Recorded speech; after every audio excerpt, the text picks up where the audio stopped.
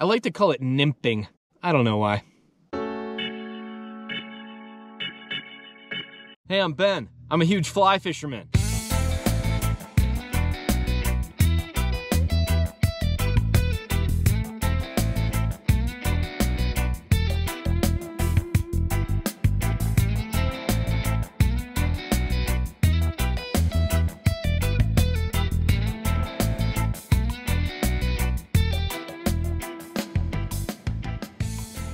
Welcome back to another episode of Huge Fly Fisherman. Today's video is all about nymphing. Now, this isn't a comprehensive video. You're not gonna learn everything you need to know about nymphing, just a few tidbits that I pulled out that I wanna share with you. But before we jump in, I gotta do the thing and tell you about hugeflyfisherman.com where you can get all kinds of huge fly fisherman stuff. Also my other channel at special.tv where you can get video stuff that you can't get here at YouTube. So we all know that nymphing is the lamest way to catch fish with a fly rod, but it also works really well so it pays to learn how to do it effectively. I've got a bunch of different tips for you, so let's dive in. The first tip is to set the hook in the direction of the drift. That's usually downstream, but not always. If you set the hook in the direction of the drift, you'll pull the flies right into the fish's mouth. If you set the other way, you'll yank those flies right out of their mouth and all of your friends will laugh at you. If the flies in bobber are way downstream from you, things can get a little weird, so just do your best and try not to suck at fly fishing. Next tip for nymphing is to learn different nymphing rig setups.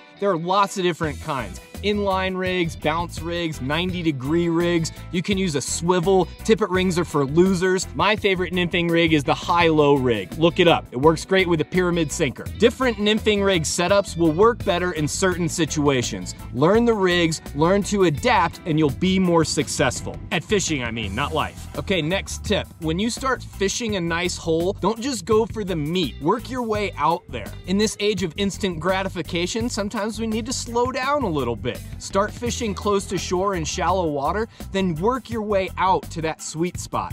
I see lots of folks standing where they should be fishing. Yeah, I'm guilty of that too sometimes. Next tip is watch this video about different types of bobbers by my friend James from About Trout. And like he says, just fish better. The next nymphing tip is to make lots and lots of drifts. Just keep doing it over and over. I can't tell you how many times I've made that same drift over and over and they'll eat it on like the 21st drift. Why do they do that? 21 is the magic number though. If you go for 22 drifts, you're just wasting your time. Move six inches upstream and start over. The next nymphing tip is one that you might be aware of, and that's to fish multiple flies. I did the math, and more flies in the water equals more chances that you'll catch a fish. One fly is okay, but two flies is better three flies and you're just trying too hard. All right, I got one more nymphing tip for you and then I'll let you get back to watching SpongeBob. The next nymphing tip is to constantly adjust your setup. By that, I mean adjust your weight and depth. There's an old saying, the difference between not catching fish and catching fish is one split shot. So mix it up. If you're moving up a hole from the shallow tail out up to the bucket, you might need to add some more weight and or move your bobber up your leader so your flies will get deeper. Deeper is generally better. And if changing your setup doesn't work, maybe you need to adjust your attitude. You've been kind of a jerk lately. So there you go, that's gonna wrap it up for this huge fly fisherman video. I hope you learned something. Or if you have a tip that I didn't mention, feel free to leave it in the comments.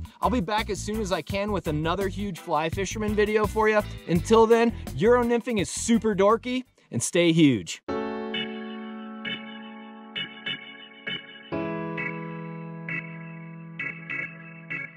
In case you didn't know, I invented fly fishing and I know everything there is to know about it.